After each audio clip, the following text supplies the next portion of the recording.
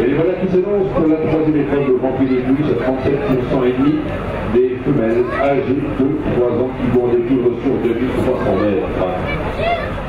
Jobber de Pompadour a fait un excellent départ et va passer en tête devant les tribunes à sa hauteur. Se porte Flaminga et Pécos. Au troisième rang vient l'invaincu Joy de la En quatrième position, galope ensuite Philippe Lasserre.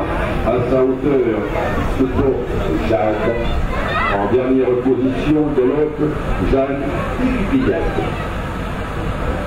C'est l'entrée du premier tournant de la conduite cette fois de Flaminga du Bécos qui vient de prendre davantage.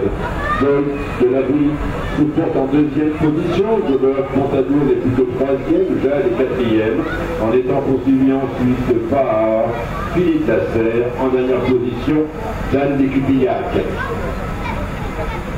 Le début de la ligne opposée pour retrouver comme leader Flaminga di Pécos, en deuxième position Joy de la Bruni, au troisième rang, toujours le long d'accord Jobber de Fontadour, en quatrième position très près se trouve ensuite Jade avec Philippe de la Serre, en dernière position Jeanne Descupillac, direction la droite, Joy de la Bruni très librement qui vient à la hauteur de Flaminga du Pécos, en troisième position le de d'accord, Jobber, Pontadour, Jeanne est quatrième.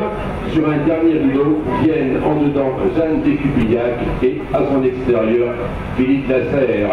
Elles sortent de la fosse ligne droite, Joy de la Bruni, un très léger avantage sur Flaminga du Pécos, toutes deux précédents le long de la corde, Jobber Pontadour, toujours à la hauteur de Jobber Pontadour, Jade, derrière elle, Philippe Nasser, en compagnie de Jeanne Descupillac.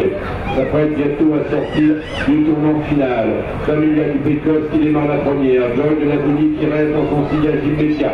En troisième position, Jacques qui vient attaquer Jobber Pontadour, en léger retrait, Philippe Nasser, Jeanne Descupillac est battue, sont maintenant à 300 mètres de l'arrivée. Et Joy de la qui va de prendre